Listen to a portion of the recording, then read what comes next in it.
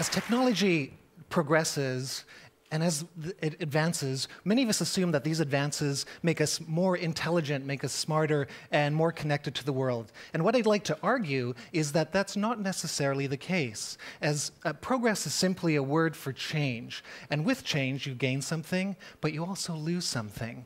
And to really illustrate this point, what I'd like to do is to show you how technology has dealt with uh, a very simple, a very common, an everyday question, and that question is this. What time is it? What time is it? If you glance at your iPhone, it's so simple to tell the time. But I'd like to ask you, how would you tell the time if you didn't have an iPhone? How would you tell the time, say, 600 years ago? How would you do it? Well, the way you would do it is by using a device that's called an astrolabe. So, an astrolabe is relatively unknown uh, in today's world, but at the time, in the 13th century, it was the gadget of the day. It was the world's first popular computer, and it was a device that, is, in fact, is a model of the sky.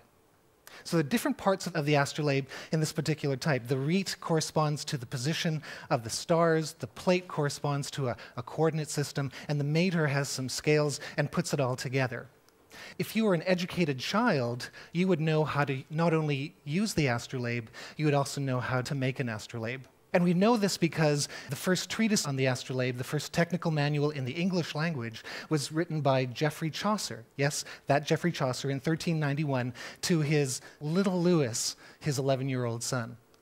And in this um, book, uh, little Lewis would, uh, would know the big idea. And the central idea that makes this computer work is this thing called stereographic projection. And basically, the, the concept is how do you represent the three dimensional image of the night sky that surrounds us onto a flat, portable two dimensional surface. The idea is actually relatively simple. Imagine that the Earth is at the center of the universe, and surrounding it is the sky projected onto a sphere. Each point on the surface of the sphere is mapped through the bottom pole onto a flat surface where it's then recorded. So the North Star corresponds to the um, center of the device. The ecliptic, which is the path of the sun, moon, and planets, correspond to an offset circle. The bright stars correspond to little daggers on the rete and the altitude corresponds to the plate system. Now, the real genius of the astrolabe is not just the projection. The real genius is that it brings together two coordinate systems so they fit perfectly. There's the position of the sun, moon, and planets on the movable rete, and then there's their location on the sky as seen from a certain latitude on the back plate. Okay? So, how would you use this, uh, uh, this device? Well, let me first uh, back up for a moment. This is an astrolabe. Pretty impressive, isn't it? And so this astrolabe is on loan from us from the Oxford School of uh, Museum of History, and uh, you can see the different components. This is the mater, the scales on the back. This is the rete, okay, do you see that? That's the movable part of the, of the sky. And in the back, you can see like a spider web pattern, and that spider web pattern corresponds to the local coordinates in the sky. This is a rule device, and on the back are some other devices, measuring tools, and uh, scales to be able to make some calculations. Okay? You know, I've always wanted one of these. I, I, I, for my thesis, I, actually built one of these out, out of paper. Um, and uh, this one, this is a, a, replica from a 15th century uh, device, and uh, it's worth probably about three MacBook Pros. But a real one uh, would cost about as much as my house and the house next to it, and actually every house on the block on both sides of the street, maybe a school thrown in and some, you know, a church. They're just incredibly expensive. But, but let me show you how to work this device. So let's go to, uh, to step one. First thing that you do is you select a star in the night sky if you're telling time at night. So tonight, uh, if it's clear, you'll be able to see the summer triangle, and there's a bright star called Deneb. So let's select Deneb. Second is you measure the altitude of Deneb. So step two, I hold the device up, and then I sight its altitude there so I can see it clearly now and then I measure its altitude. So it's about 26 degrees. You can't see it from over there.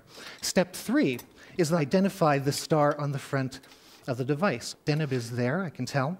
Step four is I then move the rete, move the sky, so the altitude of the star corresponds to the scale on the back. Okay, uh, so when that happens, everything lines up. I have here a model of the sky that corresponds to the real sky. Okay, so it is, in a sense, holding a model of the universe in my hands. And then finally, I take a rule and move the rule to a date line, which then tells me the time here. Right? So that's how the device is used. so I know what you're thinking. That's a lot of work, isn't it? Isn't it a ton of work to be able to, to tell the time as you glance at your iPod to just check out the time. But there's a difference between the two because with your iPod, you can tell, um, or your iPhone, you can tell exactly what uh, the time is with precision.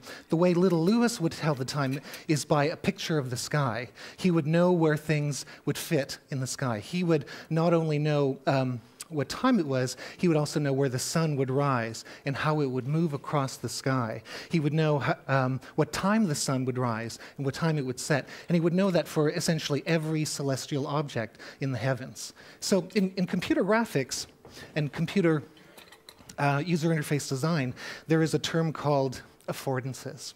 So, affordances are the qualities of an object that allow us to perform an action with it.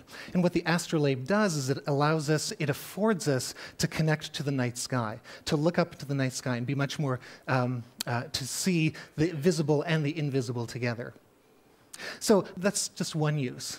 it's incredible. Uh, there's probably 350, 400 uses. In fact, there's a text that has over a thousand uses of this first computer. On the back, there's scales and measurements for terrestrial navigation. You can survey with it. The city of Baghdad was surveyed with it. It could be used for calculating mathematical equations of all different types, and it would take a full university course to illustrate it. Astrolabes have an incredible history. They're over 2,000 years old. The concept of stereographic projection originated in 330 BC, and the astrolabes come in many different sizes and shapes and forms. There's portable ones, there's large display ones, and I think what's common to all astrolabes is that they're beautiful works of art. There's a quality of craftsmanship and precision that is just astonishing and remarkable.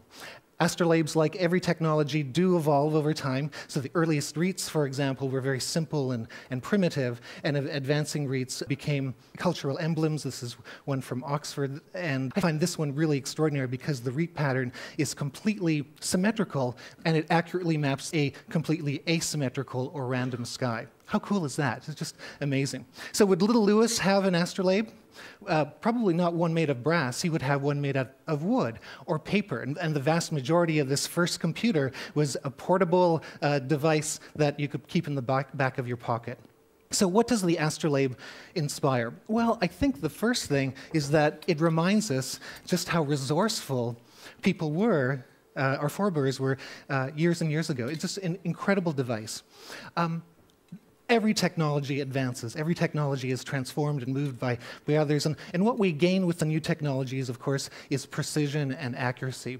But what we lose, I think, is an accurate, a, a felt sense of the sky, a sense of, of, of context.